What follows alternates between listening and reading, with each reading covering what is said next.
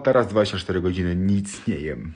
Tak się prezentuje waga. Przed wyzwaniem pamiętajcie zostawiać łapki w górę, a ja dalej zabijam nudę. Na razie nie ma w sumie głodu, jest spoko, także oby tak było. Minus, że wstałem wcześniej, cały dzień przed nami. Jak na 7 rano to jest strasznie dużo ludzi w kaufie. Byłem w kaufie, a teraz do maka, a nic nie mogę jeść, tylko nagrać odcinek. Widzieliście kiedyś parking żabki? Jestem właśnie Auchan i kupuję nową kostkę Rubika. Przed chwilą miałem mega kryzys i w tym momencie jest już trochę lepiej.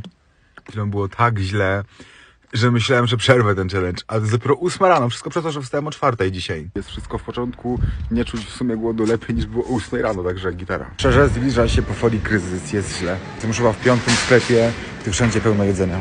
Nie wiem, czy to z niewyspania, czy co, ale jest godzina 15, a ja się czuję naprawdę źle.